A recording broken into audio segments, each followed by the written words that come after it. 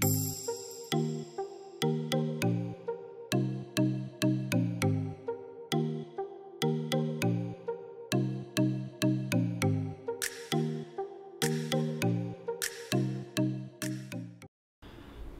everyone and welcome back to another Wah So Shiok video review. So today I'll be taking a look at the Phoibos Voyager. So some of you may know, Phoibos is a Hong Kong watch label that mainly specializes in uh, more affordable uh, tool watch, mainly divers, and the Voyager is their latest offering. So let's take a look. So right off the bat, uh, the Phoibos Voyager uses sapphire crystal, so it's virtually scratch proof. There's also three layers of anti-reflective coating applied, so you know you won't get most of the nasty reflections that you might get if there was an AR coating in terms of water resistance rating, it's rated at 300 meters, so you can bring this to the pool, you know, to the sea, even dive it without any concerns. It comes with a screw down crown as well. Yeah, on to the movement itself. You, uh, you can't really see the movement because it's through a closed case back, but the, the movement that's taking away inside the heart of this Voyager is the workhorse Seiko NH35 movement. So if you know you're if you're a fan of affordable micro brand watches, the Seiko NH35 movement shouldn't be any stranger to you. I would say it's one of the best movements available at this price point. It's a workhorse movement, it ticks at 21,600 beats per hour, has 24 jewels, 42 hours of power reserve, and it's hacking. So if you were to unscrew the crown and pull it out, you can see that the second hands uh, stop. So the hacking function of the Seiko NH35 movement is probably its key advantage over the Miyota 8 series movement, which is the uh, which is the alternative movement that you might find at this price point. So yeah, very reliable workhorse movement comes with a date function, quick set date function, you know, hand winding and everything. So yeah, kudos to absolutely no complaints on my side on Phoibos choosing this movement. Great pick for a 200 plus USD watch. Yeah, and on to you know the bracelet itself. So actually the the Voyager comes on this sort of Jubilee bracelet, and I must say it's pretty well uh, machined. You know, it feels solid often you know with cheaper watches with bracelet the, the links are hollow but I can feel that they are they are solid here they have good have good weight comes with a uh very nice clips. You can see that uh, it's brushed with the Phoibos uh, logo at the top. There's even like a few holes for you to micro adjust in case for you to just get the right fit right?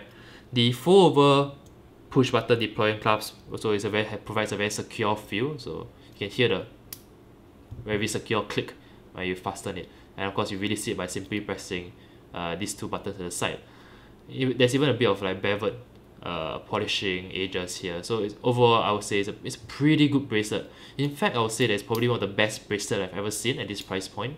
You know overall a very solid very well machined uh, bracelet. Just look at that branding and that polishing and that brushing. It's that secure feel. Not often you know if if you if you have interacted with some of the cheaper Seiko dive watches. Often the bracelet is where the letdown is you know it feels finicky it feels cheap. Here on the Phoibos Voyager absolutely none of that. Very sturdy very well constructed bracelet. Yeah. But of course it the since this is a Phoibos watch it should come as no surprise that you know the specifications are great. What comes as a surprise at least for me personally is how much I fell in love with the design. Look at that look at the sunburst blue you know texture. Look at the way it catches the light and morphs in different uh, lighting conditions and angles. It's a beauty to behold. Let me see if I can bring it even closer to the camera. There you go. Look it's not just your usual sunburst style you know there's a there's a graining to it there's a texture to it that I think is is simply fabulous. It's really captivating. To be honest you know when we think of Phoibos I don't really think of original design. You know they started off making homages but over the years have progressed to introducing more original designs. And I think the Voyager is really encapsulate all the years of hard work in terms of uh, producing more and more original innovative design. It is I did not expect to like the design as much as I did but honestly wow when I tried it on the wrist when I saw it in the metal it really blew my mind away aside from the gorgeous sunburst textured dial you get also applied indices. Applied indices are pretty unique as well. So now that camera is focused you can see sort of like a talon like a claw like shape which again I've not really seen before. So that's a nice touch. Uh there's a dead window at six o'clock. Uh, I like it at six. It balances the symmetry of the dial there's also the little red uh text automatic in red. So it gives the dial a nice pop of color yeah overall a very a very nice a very nice dial look at the way it glimmers. Beautiful. Aside from the dial another thing that I really like was the bezel when I first saw this dial configuration with the bezel you know it immediately reminded me of the Rolex Yachtmaster 40 it's a very similar vibe in a sense. Of course being the same case size having the same uh, bead blasted bezel over here which you don't really quite see I think on dive watch affordable dive watches at least these days. If you look at affordable dive watches usually come with your usual aluminium uh ceramic sometimes ceramic acrylic bezel. This sort, sort of bla- bead blasted finishing not quite. You have the raised uh numerals here very nice touch. This is not a countdown a countdown time uh bezel so you won't be able to measure elapsed time with this at least not accurately. So I wouldn't recommend it as a dive watch. However I actually prefer this twelve hour bezel here because it allows you to use the watch to sort of indicate a second time zone essentially giving me a G_M_T function. So to me that is a more practical usage of this watch and the bezel than uh elapsed time bezel countdown bezel that one never use because no one no one dive is like because at least I don't dive with their watches these days and I think most customers that purchase this won't as well. The bezel itself is pretty good. You can see there's that there's not much play. It feels pretty solid can hear the very satisfying click as well. It's a 120 click unidirectional uh rotating bezel. So yeah. Very nice touch as well. Um my only gripe is that it's a bit small so it can be a bit hard to rotate but again you know you're not gonna rotate it much anyway. Yeah moving on to the case side. Uh if I if you know up to this point I would say the Voyager has punched really far above its price point. But if there's any portion of the watch that you know belies its cheap pricing or more affordable pricing of only two hundred twenty plus U_S_D is definitely the case. So the case as you can see is pretty much simply uh simply polished. There isn't much finishing uh done here. There's no contour in texture. There's no bevel edges. There's no you know brushing or whatsoever. It's just a very simple very spartanly finished case. Again I don't mind it this is a two hundred plus U_S_D watch but you know this is where I think an area where the low price point shines through and not in a good way. But we do get a nicely signed crown as you guys can see here the Phoibos logo is very nicely sized crown crown guarded by false crown guards. You might notice the way you know the the case curves towards the crown guards. We might is reminiscent of course of the iconic Rolex dive watches Submariner Yachtmaster 40 etc so there is that inspiration there especially when it comes to you know the crown guards. Yeah on to the back. The case back is uh nothing special you know it's I mean it's not bad for again a two hundred plus U_S_D watch but simply a nice motif and all artwork of you know the Phoibos logo with some relevant specifications engraved as well.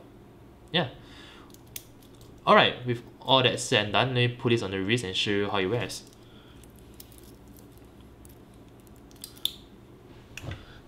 look at that. Really wears very well. So as you guys might know dive watches nowadays are moving towards uh, bigger and bigger dimensions. But I'm glad that Phoibos stuck to a more wearable 40mm here. So the watch is only actually 40mm wide and it wears I would say really well on my 7 inch wrist. It's a nice uh, everyday uh, tool watch feel to it. And it's really and the bracelet I mentioned the bracelet is really well constructed. So it feels really comfortable on the wrist. Um it's a bit thick I, I won't lie. Being a dive watch it is a bit thick. So it is about fourteen mm thick. So this I think this won't be one that you will you want to wear you know with a suit and tie.